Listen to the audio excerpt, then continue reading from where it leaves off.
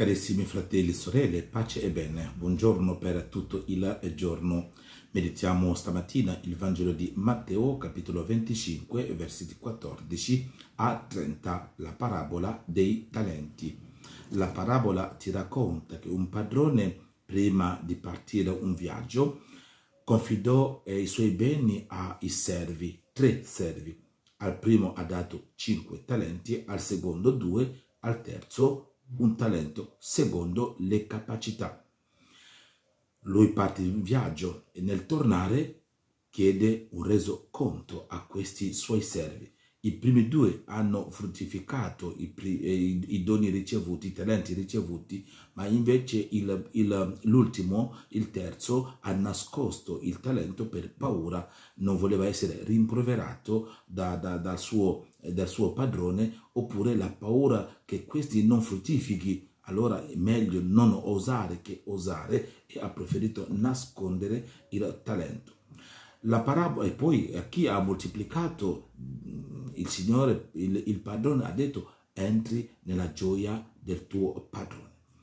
La parabola punta sul resoconto di ciò che Dio ha dato a ciascuno di noi per entrare in questa grazia del Signore. Ricordatevi che questo nostro brano è preceduto dal brano delle vergini, che loro, le sagge sono entrate nella festa invece le stolte sono rimaste fuori. Allora è quella gioia che è da condividere e per entrare in questa gioia tocca usufruire, fruttificare i, i, i doni ricevuti da parte del Signore. Dunque il brano vorrebbe richiamare ciascuno di noi a, a, a, a comprendere la volontà di Dio. La volontà di Dio è di vederci vivere nella gioia, entrare nel suo regno nella piena gioia però per arrivare a questa gioia tocca mettere, tocca fruttificare i doni ricevuti. Allora, il primo elemento da sottolineare è proprio i doni ricevuti, cioè da capire che cosa Dio mi ha dato, quali sono i miei doni. Quando parliamo dei doni, possono essere i doni spirituali, i doni materiali, tanti doni ci sono. Un dono che cosa? Un dono sarebbe la cosa a cui tu ti tieni che ti dà gioia quando la cosa viene dal Signore, dove tu pensi realizzarti, dove tu pensi veramente um, real, realizzare i tuoi sogni. Ecco, questo sarebbe il dono, un dono che Dio ci ha dato che noi potremmo tradurre con i talenti. Ecco, ognuno di noi ha ricevuto qualcosa. E da sottolineare anche la capacità, la parola capacità. Il padrone ha dato ai servi secondo le capacità o la capacità di ciascuno. Dio offre a ognuno di noi secondo le nostre capacità.